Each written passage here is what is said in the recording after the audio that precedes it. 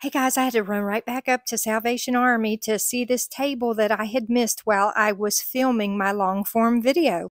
Unfortunately, this table is a little bit too tall for me to use as a bedside table. It's also kind of chunky and a little bit thicker looking than I would like.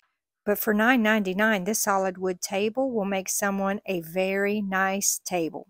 Okay, that's it for today. Bye.